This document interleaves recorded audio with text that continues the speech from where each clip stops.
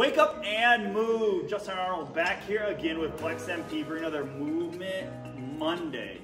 We're here to talk about squats, but probably one you're not familiar with or you're probably not doing. Now let's talk about it as general. Squats are considered one of the king of exercises, but I find a lot of people aren't doing them correctly. Only maybe a small percentage of lifters or people are dealing with injury. After injury, you're always trying to refigure.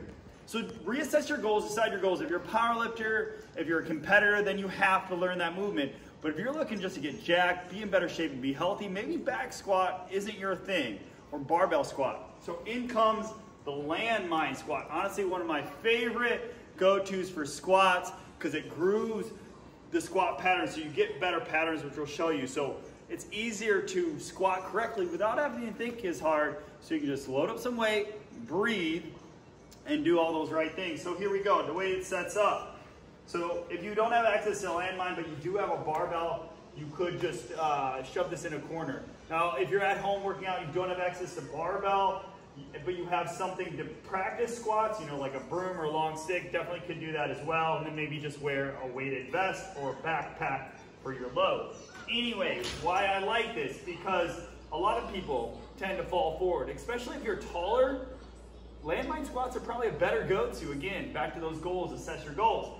But this one, if you lean too far forward, what's happening? So you want to set up where it's at your chest, not too far away.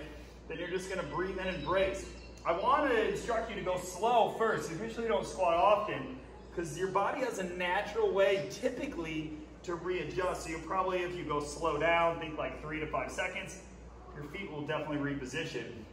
So again, helps keep that chest up. It also teaches you to push your hips back. I find a lot of people who tend to lean forward or push their knees forward or they're standing in all these weird stances. Again, this landmine squat can, again, get to a better squat form without thinking because I get asked all the time, how do I squat? Am I squatting correctly? Do I stand like this? Where do I put my feet? Where do I put my hands? A lot of questions, and this is one of those movements that can really get you to a better squat. I'm definitely gonna put some more notes below because there's a lot to talk about this. So if you got some time, go ahead and read that. Unlike previous Movement Mondays, typically when I show a movement like this, probably means we're gonna include it on our Workout of the Week Wednesday. So you wanna check that out because it's gonna be an amazing one this week. Anyways, if you have any more questions, you like movements like this, wanna learn movements like this, or definitely interested in personalizing and getting your fitness and health and wellness to meet your needs, to meet your goals, I can sit down with you via Zoom, wherever, to set up that customized roadmap today for free. So click a link below.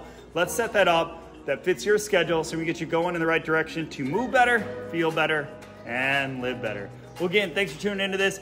If you like videos like this, share them, subscribe to our channel, check out more on some of our playlists. And always, we're always here for recommendations. Let us know. And tomorrow, this is your first time, we got our TRX Tuesdays. You won't want to miss that one as well. Well, thanks for tuning in. Have an awesome day. Take care.